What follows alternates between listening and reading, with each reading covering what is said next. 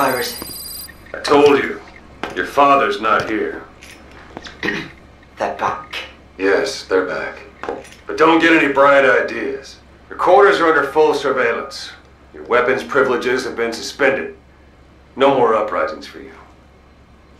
Did you really think it would be that easy, Commander?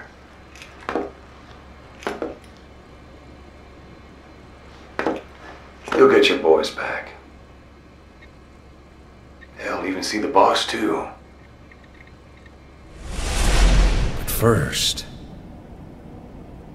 I need to know what you sent them to do.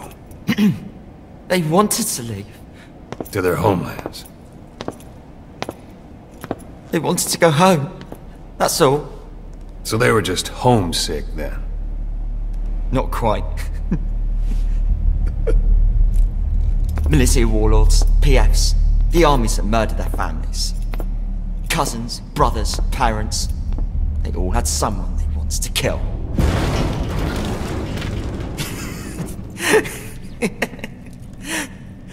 I told them, last chance to face the world with no regrets. Last chance.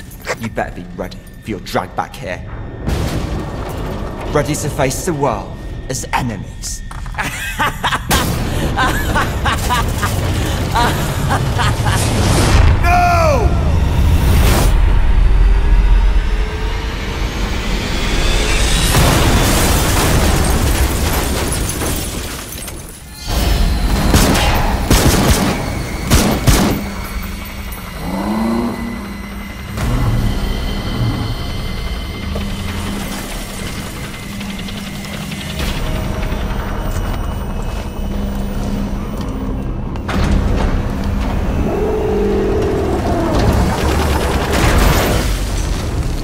you!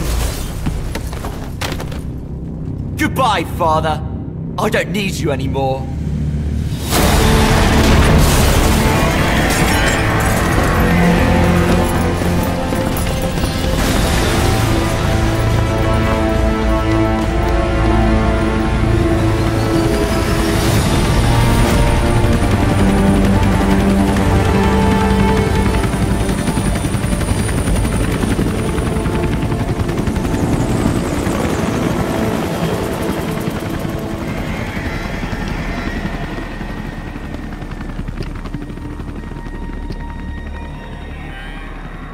Was Ralph really an accident?